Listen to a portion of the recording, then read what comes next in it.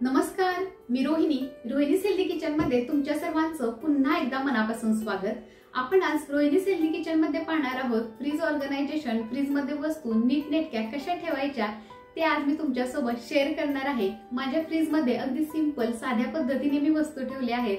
ते आपण पाहणारच आहोत पण त्या अगोदर फ्रीजचा वापर कसा करायचा याची माहिती थोडीशी आपण पाहूया. फ्रीज वापरत असताना फ्रीजमध्ये पदार्थ ठेवत असताना ते नेहमी झाकून ठेवावेत.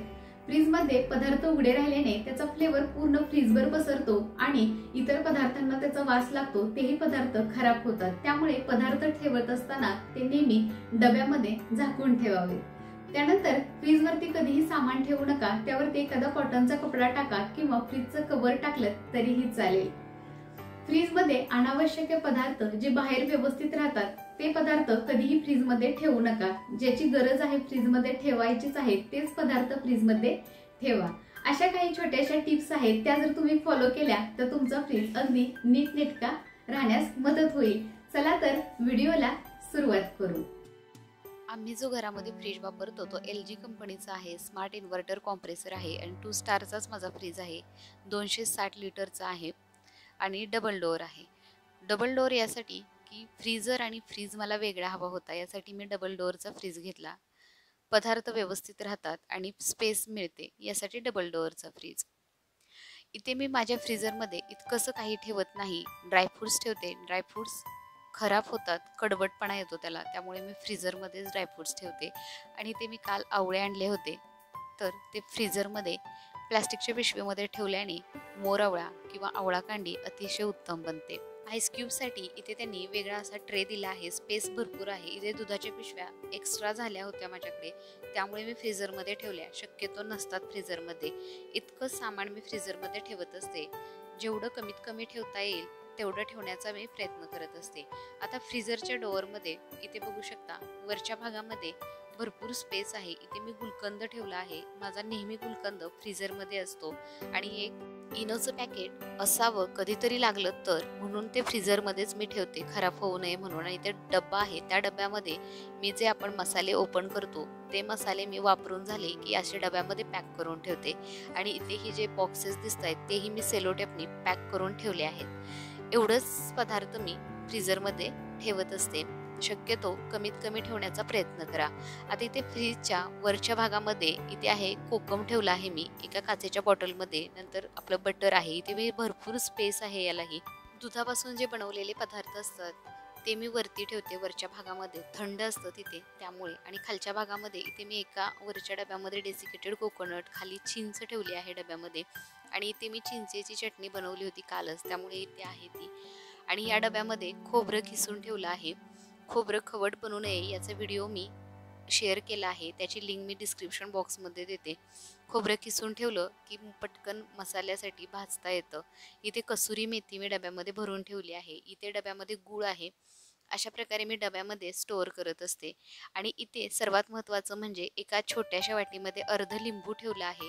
लिंबू यासाठी की लिंबूमुळे फ्रेशनेसपणा येतो फ्रीजला जो वास येतो तो येत नाही. आणि इथे बेकिंग सोडा. बेकिंग सोडा ठेवल्याने फ्रीजमध्ये जी दुर्गंधी येते पदार्थांची ती नाहीशी होते. त्यामुळे प्रत्येकाने फ्रीजमध्ये फ्रीज जेव्हा आपण साफ करतो तेव्हाच थोडासा बेकिंग सोडा आणि अर्ध लिंबू फ्रीजमध्ये नेहमी ठेवावं. त्यामुळे फ्रीज फ्रेश राहण्यास मदत होते. आता इथे आपण खाली बघूयात इथे बघा मी अशा प्रकारचे कंटेनर वापरते. ट्रान्सपरंटही आहेत आपल्याला आतमधल्या भाज्याही दिसतात आणि याला एक हँडलही आहे. असं व्यवस्थित आपल्याला ते बाहेर काढता येतं. यामध्ये तीन डबे दिलेत. आपण वेगवेगळ्या प्रकारच्या फळभाज्या यामध्ये ठेवू शकतो.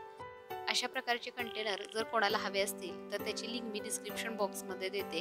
अगदी वापरायला अगदी छान असं हे कंटेनर आहे.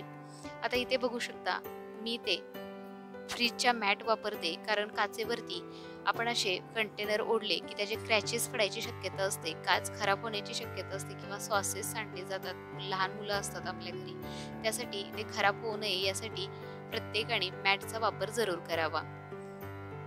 आता इथे मी फळभाज्या ठेवण्यासाठी इथे अशा प्रकारचे आयताकृती कंटेनर घेतलेले आहेत. कंटेनरमध्ये आतमध्ये मी पिशवी आहे कॉटनची वॉशेबल आहे. तुम्ही कितीही वेळा तिला धुवून परत वापरलीत तरीही चालेल. अशा प्रकारे इथे बघू शकता इथे मी कॉटनचा रुमाल घेतलेला आहे आणि तो कोथिंबीर त्याच्यावरती ठेवून व त्याला झाकून ठेवलं आहे. त्यामुळे काय होतं पाणी सुटत नाही आणि पाणी सुटलं तरीसुद्धा कोथिंबीर आपली जशीच्या तशी हिरवीगार आणि टवटवीत राहते. आपल्याला इथं टिश्यूचा वापर करायचा नाही. त्यामुळे हे अतिशय चांगलं की तुम्ही कितीही वेळा या कॉटनच्या पिशव्या धुतल्यात आणि सुकवून त्यामध्ये फळभाज्या भरून ठेवल्यात तरीही चालेल. अशा प्रकारे इथे बघू शकता अशा प्रकारची पिशवी आहे. या पिशव्यांची लिंक मी डिस्क्रिप्शन बॉक्समध्ये देते. आणि कधीही टिश्यू पेपरपेक्षा कॉटन चांगलं कॉटनचा कपडा चांगला असंच नाही की तुम्हाला कॉटनच्या पिशव्याच वापरायच्या आहेत. एखादा तुमच्याकडे कॉटनचा कपडा असेल घरामध्ये तर त्याचे असे बारीक बारीक कट करून कपडे तुकडे घ्या आणि ते अशा प्रकारे त्याची पिशवी घ्या किंवा घरातलंच एखाद्या कॉटनचा कपडा गुंडाळून भाजी वगैरे ठेवली तरीही चालेल. आता इथे मस्त असे आपल्या मला आयताकृती हे कंटेनर मिळाले आहेत. याची लिंक मी डिस्क्रिप्शन बॉक्समध्ये देते. इथे बघू शकता मी पालकची भाजी स्टोअर केली आहे. पालकच्या भाजीच्या खाली मी इथे रुमाल टाकला आहे कॉटनचा आणि त्यावरती पालकची भाजी ठेवली आहे. आठ दिवस सुद्धा अशीच्या अशी पालकची भाजी व्यवस्थित राहते. म्हणूनच टिश्यूच्या ऐवजी तुम्ही कॉटनचा कपडा वापरा. म्हणजे हा स्वच्छ धुवून पुन्हा त्याचा वापर करता येईल. आता इथे खालच्या भागामध्ये सुद्धा खूप स्पेस दिली आहे. इथेही तुम्ही पदार्थ स्टोअर करू शकता. इथे मी मिरची ठेवत असते आणि मिरचीचे डेट काढून मी एका डब्यामध्ये ठेवली आहे. असं केल्याने मिरची खराब होत नाही जास्त दिवस राहते. इथे मी खालीच डबा ठेवते. स्वयंपाक करताना पटकन आपल्या हातात येते. त्यामुळे इथे मी काही पाउचेस ठेवले तेही डब्यामध्ये पॅक ठेवलेले आहेत. कधीही फ्रीजमध्ये कोणताही पदार्थ उघडा ठेवू नका. इथे चॉकलेट आहेत. चॉकलेट आपल्याला लागतातच. लहान मुलांच्या नजरेला चॉकलेट येऊ नयेत म्हणून आपण डब्यामध्ये चॉकलेट ठेवावेत. आता इथे मी यामध्ये अंडी ठेवत असते. अंडी मी शक्यतो फ्रीजमध्ये ठेवत नाही. उन्हाळ्यामध्येच फक्त ठेवत असते. तर इथे काही अंडी होती माझ्याकडे ती मी इथे फ्रीजमध्ये अशा प्रकारे स्टोअर केली आहेत. आता तेच आपण व्हेजिटेबल आणि फ्रूटचा हा पोर्शन आहे इथला. तर यामध्ये मी कॉटनच्या पिशवीचाच वापर केला आहे. इथे मी कॉटनच्या पिशवीमध्येच फळभाज्या ठेवत असते. इथे जास्त मी काही ठेवत नाही. इथे थोडेसे आंबे माझ्याकडे आज जास्त होते म्हणून मी फ्रीजमध्ये ठेवलेत. आणि अशा कॉटनच्या पिशव्यांचा वापर केला तर कधीही चांगलं त्याला पाणी सुटत नाही. आणि इथे या पिशवीमध्ये मी कैरी आणि काकडी ठेवली आहे. ही ही चार दिवसापूर्वी ठेवली होती. आणि तशीच्या तशी टवटवीत कैरी आणि काकडी दिसती आहे. त्यानंतर आलंसुद्धा मी अशाच पिशव्यामध्ये ठेवत असते. त्यामुळे पाणी सुटत नाही आणि खराबही होत नाही. आणि या पिशवीमध्ये दिसत आहे हां इथे आहे बघा आळूची पानं आहेत. मी ही चार दिवसापूर्वी आणली होती आणि पिशवीमध्ये अशीच ठेवली आहेत. सुकलेली दिसत नाही आहेत टवटवीत राहतात.